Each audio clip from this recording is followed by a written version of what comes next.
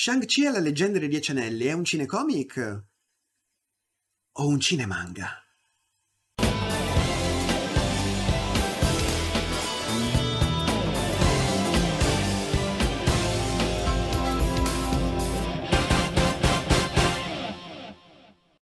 Al mio pubblico non ne ho mai fatto mistero. Sin da quando è uscito il primo teaser fino a quando è stato pubblicato il trailer finale, a me Shang-Chi non ha mai convinto principalmente per due motivi.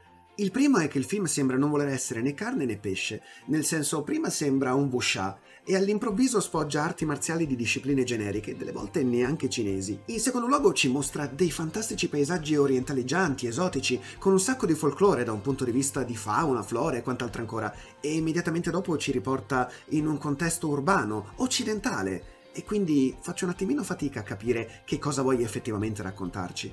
Ultimo, ma assolutamente non meno importante, il protagonista Simu Liu non mi arriva. Non fraintendetemi, ha già dimostrato di essere un grandissimo attore in altre sedi. Il problema è che Shang-Chi è un personaggio poco loquace e soprattutto poco caratteristico, motivo per cui il suo carisma non è mai pervenuto. E avere un protagonista invisibile, la cui scena viene rapita immediatamente dall'antagonista o dalla comprimaria, Beh, è un grave, gravissimo problema per i Marvel Studios. Ecco perché in questa recensione, che nella sua prima parte vi assicuro sarà totalmente spoiler free, voglio partire proprio dai miei dubbi, dalle mie perplessità e capire quali di questi sono stati sfatati a fine visione e quali invece purtroppo sono stati confermati. Guardando il teaser, guardando i trailer, guardando gli spot, in molti ci siamo chiesti: ma questo film di preciso a chi sta parlando? Eventualmente a un pubblico di neofiti? A chi magari già ama e apprezza la formula consolidata dei Marvel Studios, ma dopo dieci anni può legittimamente desiderare che vengano aggiunti degli ingredienti nuovi alla formula?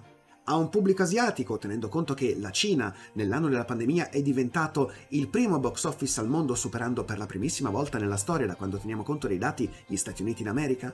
Oppure un pubblico di asio-americani o comunque di asiatici occidentali che ormai di seconda o terza generazione hanno abbracciato la cultura occidentale a discapito della cultura tradizionale del paese d'appartenenza. Insomma, diciamo che la scelta era piuttosto ampia. Ecco perché è importante segnalare che il primo atto di Shang-Chi e la leggenda dei Dieci Anelli conferma quale sia il suo target. Gli asio-americani e più in generale gli asiatici di seconda o di terza generazione trapiantati in Occidente. Si tratta di giovani che lottano quotidianamente con genitori e nonni molto più attaccati di loro alle tradizioni, mentre loro si sentono più che altro cittadini del mondo. A questo proposito vorrei fare applauso al film, che non condanna la tradizione o la modernità, ma anzi si colloca come perfetto anello di congiunzione tra passato, presente e futuro. Era davvero necessario utilizzare come metafora per questo esempio proprio gli anelli. E dai, Rob! Però è proprio per questo che è un peccato che la parte del film ambientata a San Francisco risulti l'anello debole della pellicola. Anello! Di nuovo! Sul serio! E dai!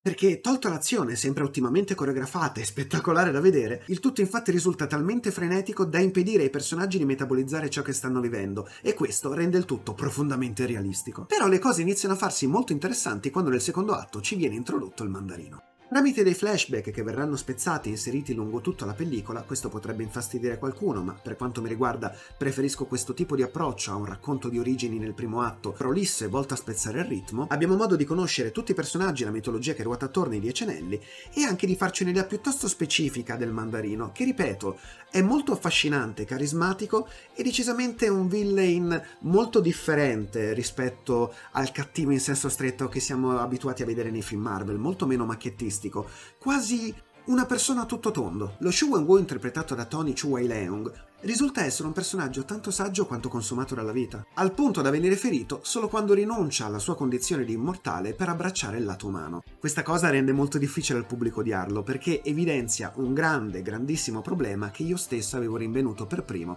Il mandarino, Katie, Xia Ling, Ying Nian e Trevor Ecco, vi ho appena fatto il nome di cinque personaggi che nel film vi risulteranno molto più carismatici del protagonista. Shang-Chi non pervenuto. Ecco perché a discapito della tecnica e le capacità mostrate nelle arti marziali e del chi l'energia interiore che manifesta durante i combattimenti, il più grande potere di Shang-Chi in questo film è la capacità di adattamento. Sta vicino a un personaggio che scherza? Diventa simpatico. Sta vicino a un personaggio silenzioso? Si ammutodisce. Si passa all'azione? Sfoggia subito i suoi pugni. Non fraintendetemi, è palese che Shang-Chi sia un buono, è palese che sia l'eroe di questa storia, ma allo stesso tempo non palesa mai insicurezza, rabbia, rancore, indecisione, ambizione. Sembra un personaggio molto neutro, in cui, come nei videogiochi, I player possono immedesimarsi in quanto non si schiera da una parte o dall'altra, ma quello che funziona in un media non è detto che funzioni in un altro. E purtroppo in un film come questo, avere un protagonista che risulti un avatar, beh, non va bene. Ma adesso si passa al piatto forte, il terzo atto. Che ci credete o meno, la battaglia finale abbandona il fronte comic e abbraccia tutto spiano manga e anime. Quindi dimenticatevi le classiche risse e combattimenti aerei in stile Marvel, oppure quelle acrobazie tipiche del cinema Wuxia. Perché qui tra regia, tecniche, effetti luminosi, linee cinetiche e combattimenti, tutto ricorda i battle shonen a cui siamo abituati. E poi ci sono pure i kaiju! E questo, devo essere sincero, non solo mi ha stupito positivamente, mi ha anche incoraggiato sulla direzione che Hollywood potrebbe prendere in futuro in relazione ai cinemanga, perché credo proprio che l'azione vista in Shang-Chi, che è qualcosa di completamente nuovo per Hollywood, beh, farà scuola anche ai diretti concorrenti. Ovvio, si tratta di un tipo di spettacolo nuovo a cui il pubblico generalista non è abituato, ma laddove dovesse prendere piede, beh, preparatevi al fatto che possa dettare nuovi standard. In conclusione, a differenza di Black Widow che parte in pompa magna e poi va a perdersi, Shang-Chi è un film che ingrana molto lentamente, senza senza prendere una decisione specifica, forse perché intende accontentare tutti, non riuscendo ad accontentare nessuno. Ma dopo aver superato quel timore reverenziale le cose cambiano drasticamente. Quello che ne esce è un buon racconto di origini, capace di omaggiare tutta la cultura pop asiatica, con una CGI quasi sempre convincente, una colonna sonora in grado di svincolarsi tra Oriente ed Occidente e soprattutto un inno all'inclusione molto più credibile, realistico e meno strumentale di quanto avuto con Black Panther e il Black Lives Matter. La vera domanda è, saprà un film così diverso, in un periodo storico così sensibilmente complesso, riuscire a far breccia nel cuore di un pubblico molto più abituato a un altro tipo di cinema e di intrattenimento? Beh, io spero proprio di sì. La parte senza spoiler finisce qui, io vi ringrazio di cuore per avermi seguito, se il video vi è piaciuto vi invito, qualora non l'abbiate ancora fatto, a iscrivervi al canale, a lasciare un like, a commentare e perché no, a venirmi a trovare anche su Twitch, il canale qui sotto, sapendo che io vado in onda bene o male tutti i giorni, mattina, pomeriggio e sera. Per tutti gli altri, pronti a un piccolo momento spoiler? Si parte fra 3, 2, 1...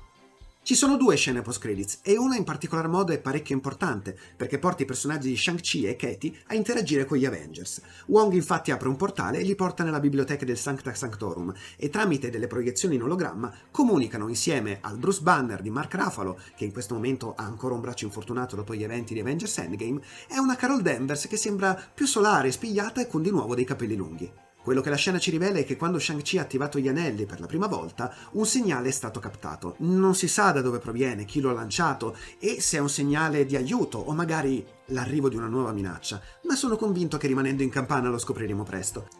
E a proposito di scoprire, esattamente come ci è stato mostrato nel trailer, Abominio e Wong sembra che siano diventati pappa e ciccia come sparring partner, ma a svelarci quando il bestione interpretato da Tim Roth, che ha dato tanto filo da torcere al Golia Verde nell'incredibile Hulk, sia diventato buono? Che che è successo negli ultimi dieci anni? Boh. E con questa mia considerazione in piena verve finisce anche il commento spoiler, di sicuro nei prossimi giorni ne riparleremo in live. Vi saluto! Ah, un'ultimissima cosa, in relazione al colpo finale lanciato da Shang-Chi. Aquafina ha citato la Kamehameha di Dragon Ball. Se non è un cinemanga questo.